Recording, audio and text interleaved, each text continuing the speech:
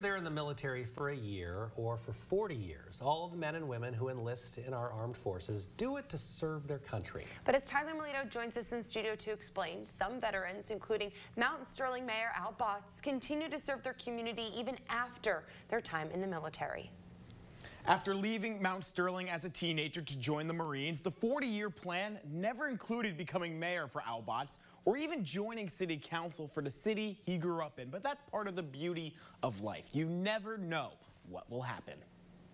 In 1989, a then 18 year old Al Botts decided he wasn't ready for college just yet, so he opted to enlist in the United States Marine Corps. I wanted to see the world and I wanted to uh, see, you know, everything was out there. I wanted to be a part of something much bigger than myself. For 20 years, Botts served in the Marines, and during that time, he saw the good. I was part of the first Gulf War, uh, so that experience, being a part of troops that helped liberate Kuwait, uh, really kept me in the Marine Corps because I did not want to miss that next big event. But also had to deal with some of the bad. When diplomacy fails, you know, the United States military is sent in and the Marine Corps gets sent into a lot of situations which are uh, very hellish. Even still, despite the uncertainty each day brought, the pride that comes with wearing the stars and stripes is something Botts holds in high regard. When you're in the military and you meet someone overseas, you may be the first person they've ever met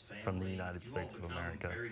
And uh, our message was always, and the Marine Corps uses this, you know, no better friend, no worse enemy.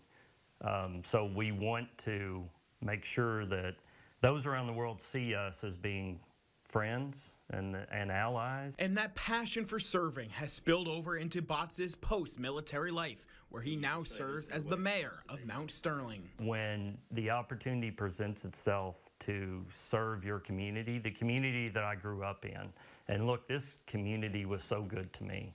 Um, you know, great family. Uh, I had parents of my friends that looked out for me, teachers, coaches, great people that helped build this community. They set me up for success.